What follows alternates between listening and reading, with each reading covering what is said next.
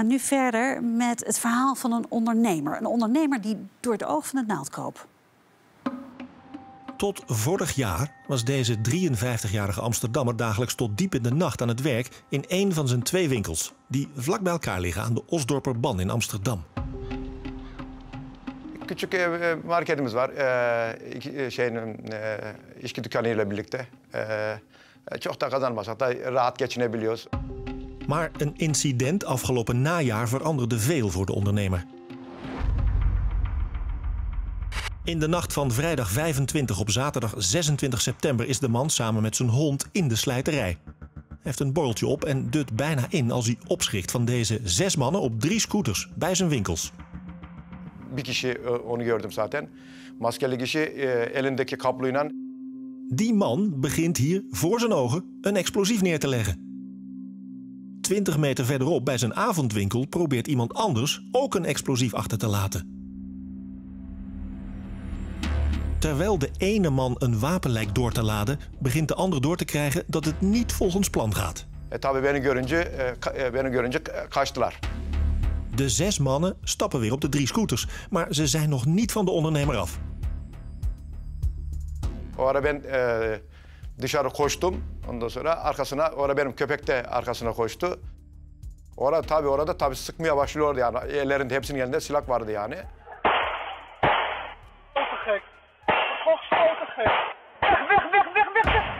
Çiçeklerinden e, e, ileri şey yaptığımda tam elimi böyle yürü, tam böyle adımımı attığımda ondan sonra dışarıdan ondan sonra tam böyle buranın e, yandığını hissettim. Baktım ki ondan sonra kurşun buradan girmiş, e, buradan çıkmış. Onu tabii ki oradan sonra ayaklarımda falan da yani şeyler geliyordu. Kurşunlar e, hissediyordum yani. Orada döndüm geri. Baktım ondan sonra vurulmuşum yani. Ama doktor da demişti yani çok şanslısın burada. E, kemiğe değmemiş buradan ondan sonra. Later blijkt dat de daders in alle haast één explosief zijn vergeten. Om nieuw geweld te voorkomen en voor de veiligheid van de buurt besluit de burgemeester van Amsterdam om zowel de avondwinkel als de slijterij aan de Osdorperban tijdelijk te sluiten. Tabii orası tarihli mallar olduğu için yani neredeyse 200 bin liralık mal var. Yani kesin 150 bin lira eurosu yani bozulmuştur yani. Precies drie weken daarvoor was de avondwinkel van zijn jongere broer ook al doelwit. Nightshop Kaland aan de Pieter Kalandlaan in Amsterdam-West. In de nacht van vrijdag 4 op zaterdag 5 september probeert deze man, na een mislukte poging een paar minuten eerder, een explosief in de brievenbus van de avondwinkel te proppen. Hij draagt een Nike-vest en een pet van New York Yankees. Hij lijkt op zijn hoede en het proppen kost hem de nodige moeite. Maar zodra hij het witte snoer heeft uitgerold en op veilige afstand zit, volgt een enorme explosie.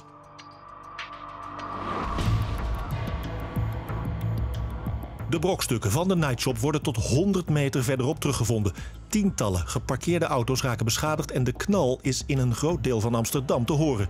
Dus ik zit in de bed, dus ik zie dat die bed beweegt.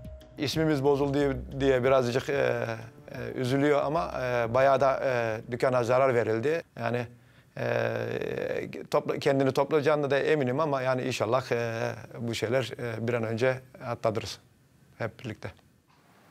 Ja, nog eens mevrouw Stoor. Ehm, waarom zijn deze broers, die dus een eh, nachtwinkels hebben en een slijterij... waarom zijn die doelwit van zoveel geweld?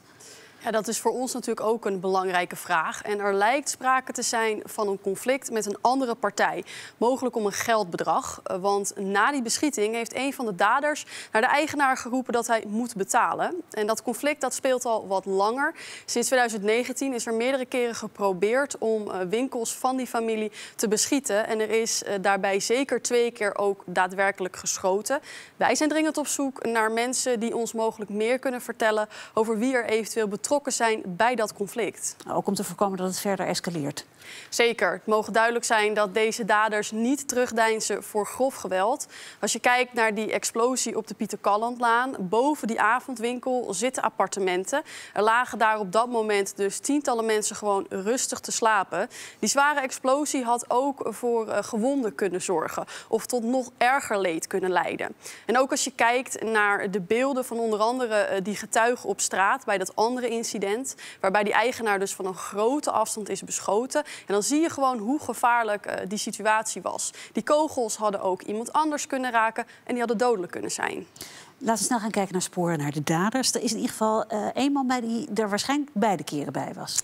Inderdaad, de man die hier op 5 september het explosief achterlaat, heeft hetzelfde wat forsere postuur en manier van bewegen als de man die dat drie weken later ook bij de slijterij probeert te doen.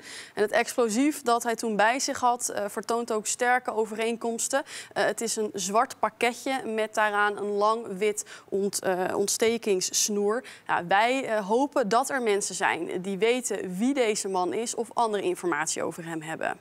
En bij beide incidenten kwamen de daders op scooters. Uh, en met eentje is iets bijzonders aan de hand.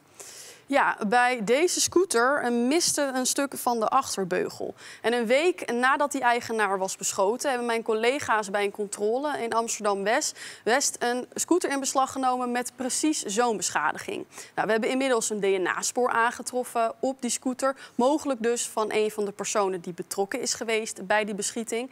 Maar we horen uiteraard ook nog heel graag van de kijkers... of zij meer informatie hebben over die scooters... maar vooral ook over die mensen die daarop zaten.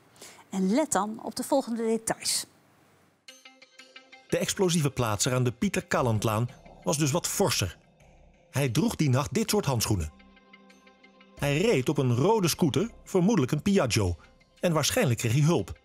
Want deze man op zijn lichtkleurige Vespa-scooter lijkt bij hem te horen. Wie kan er iets over hem vertellen?